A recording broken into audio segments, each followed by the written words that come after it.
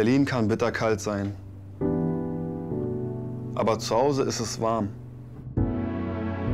Wo wir essen, schlafen, uns waschen, wo wir uns bereit machen für einen weiteren Arbeitstag. Es ist, wo wir spielen, wo wir uns lieben. Hier passiert das Leben, das ganze Leben. Unser Zuhause sollte sicher sein. Aber Wohnen wird immer teurer. Miete, Strom, Gas, alles kostet viel zu viel. Energiekonzerne machen Rekordgewinne. Wie kann es sein, dass Wohnen zum Luxus geworden ist?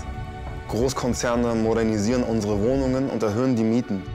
Sie spekulieren mit unserem Lebensraum. Sie verdrängen uns aus unserer Nachbarschaft.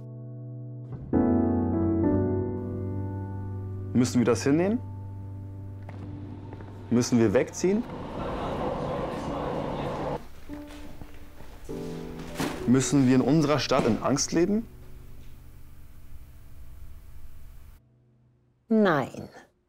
Nein. Nein. Es gibt einen anderen Weg. Wir haben längst dafür abgestimmt. Wenn unsere Häuser endlich uns gehören, machen wir sie warm, bezahlbar und klimafreundlich. Damit Berlin unser Zuhause bleibt.